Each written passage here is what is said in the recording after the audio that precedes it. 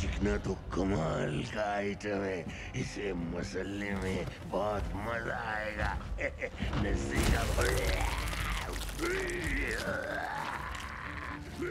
एक बात अपने कान में तेल डालकर सुन लो। ये बंदा अब उनका माल है।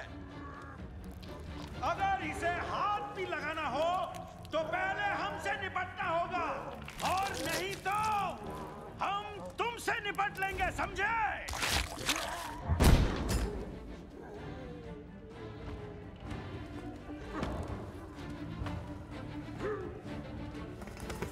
मैं इनके साथ हूँ।